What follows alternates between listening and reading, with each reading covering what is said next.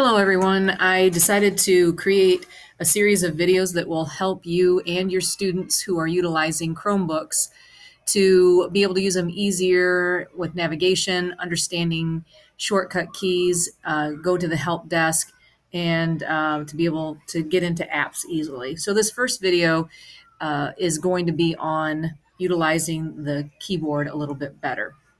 Now, the first thing that I like to do is to show the virtual keyboard. If you go to Control, Alt, and then the question mark, it will bring up this view of the keyboard. Now, the nice thing about this keyboard, if I, uh, first of all, you can see that this, the Shift key is disable cap locks. Uh, just by itself. So you can disable the, the cap locks uh, automatically when we get the cap locks on. But if I hold down the control key, you can see that things change. Uh, so anything with the control and Z is undo, control X is cut. Uh, and the top row, you can see that you can mirror monitors. You can take a screenshot. So control and this key right here, which is the sixth key over, is also called the switch window. It's on your top uh, level of your keyboard uh, will allow you to take a screenshot. And I think that's super important that students understand how to take screenshots and you to take screenshots with uh, Chromebooks. If I hold down the Alt key, you can see that that's where we locate the caps lock. We have next window, you have shelf items. Uh, and these down here at the bottom left hand corner, those are your shelf items.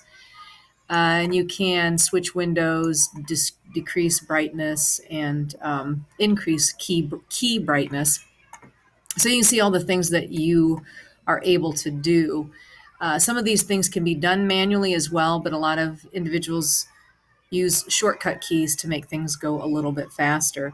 If I hold down the control and the alt, that shows me a different kind of screenshot. This is the type of screenshot that I like to take.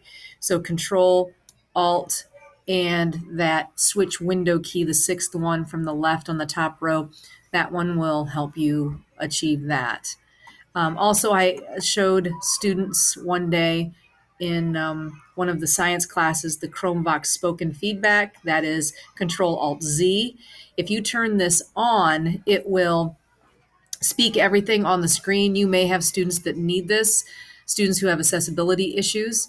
If uh, that's the case, Control Alt Z turns it on, Control Alt Z turns it back off. Okay, so these are um, the shortcut options through the virtual key board. I got that up by going Control Alt question mark. Uh, I get rid of it by hitting Escape. Uh, I also can see through down this bottom right hand corner if I go to the Help, the question mark. In the Help, I can also search keyboard and it will take me through several tutorials in order to uh, use my keyboard a little bit better. So that's the uh, part one of the keyboard Chromebook 101 keyboard portion. I will continue with two more videos in regards to using your Chromebooks more efficiently.